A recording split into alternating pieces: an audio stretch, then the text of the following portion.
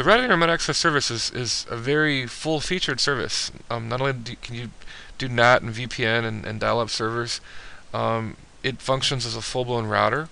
The router protocols. We'll open up some of the bits and pieces here and take a quick look at them. Um, what we're interested in is under IP version 4, but I guess let's start out here. Network interfaces. Here's my private and my public interfaces, and I can see you know, where they are and which one's connected. Let me kind of scroll this over a little bit. And I'm going to go down here to ports. And you can see the ports that you can connect under. Here's SSTP ports, and every each one of these has the capability to host a connection. And then that it would become active when someone dials in over that port. So in this case, here's my secure socket tunneling uh, protocol. Let's go down, scroll down here, and we'll find some PPTP. Here's my point-to-point -point tunneling protocol for older machines. And then here are some more sockets waiting for connections layer 2 tunneling protocol, L2TP. So it depends on which type of connection I would select with my client. Now I can see here that I have no remote access clients connected yet. So um, let's keep moving on down. If I had configured a remote access policy, I'm going to go ahead and do this. We'll launch NPS. And I'll show you what, what I'm talking about when we you know, talk about a remote access policy. Um, Give it a moment to add the snap in. Now there's two ways to do this. I'll do both. Only one way is required, but I'll do both just to show you. There are default uh, remote access policies, and we could always create a new one. If I wanted to create a new one, I could right-click and say New. And I could give it a new policy name.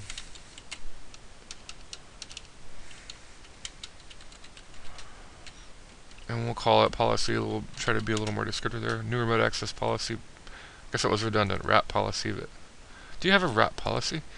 Um, okay, and then we could add, in this case, different users and groups that would be governed by that. Um,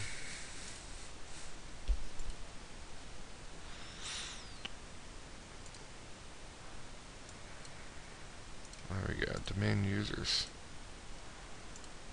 Okay, yeah, a little bit less, a little, little bit too much power there.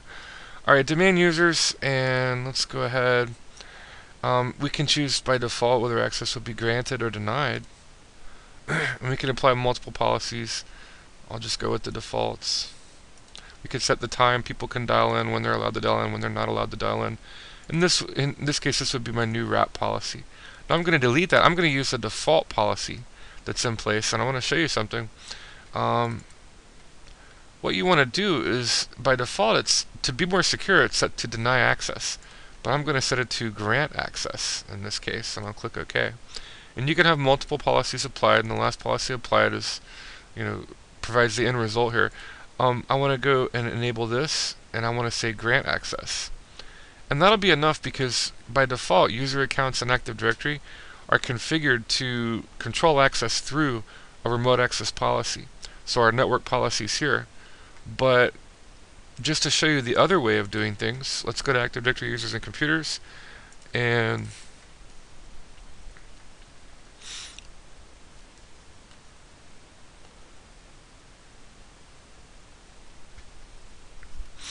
in Active Directory users and computers, let me go find my administrator account. Here's what we'll use to connect here. If I go to the dial-in tab, notice my options here. Control access to NPS network policy, um, I can deny access, which would override that policy which was denying but is now granting access. Or if I had not changed that network policy, I could check allow access, and that would allow me access to dial in to my VPN server. Let's just look at a few more things. Um, I'm going to go down and click on or select the IP version 4 node here in my management console and just look at some of the options here. Um, under general, I could add new interfaces if I had added a you know a new NIC card in my multi-home machine. I could add routing protocols, dynamic routing protocols for routing.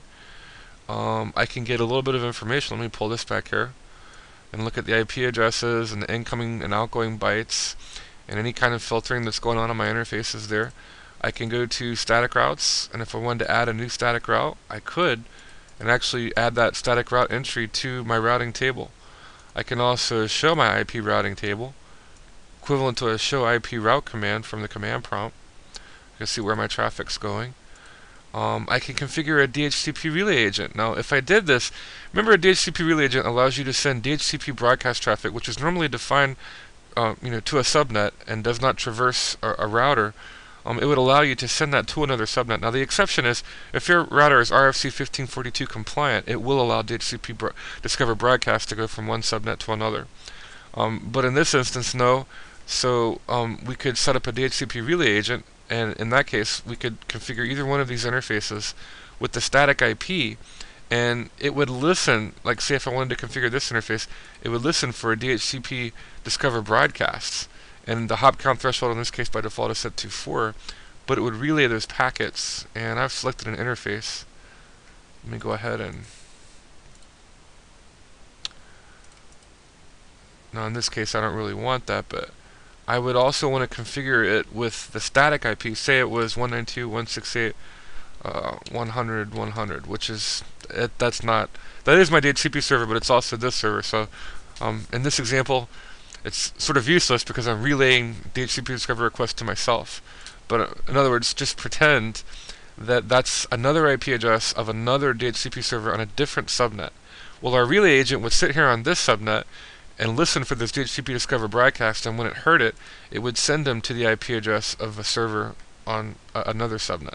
It would have already in you know, its memory um, that particular.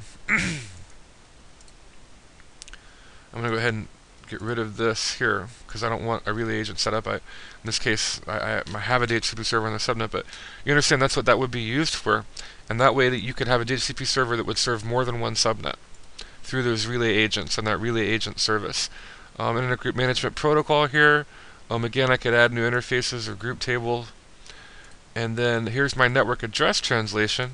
Let me go down here, and again I can select my interfaces. And let me show you, here's where you can gain some access or control to the firewall. I can choose to enable NAT on this interface, address pool, services and ports, choose what I allow or what I will not allow through. Um, you know, incoming and outgoing traffic.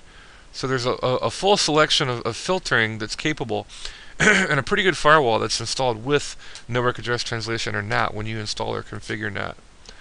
Okay, now that we've gone through all these things, let's go ahead and uh, let's go ahead and make a connection here.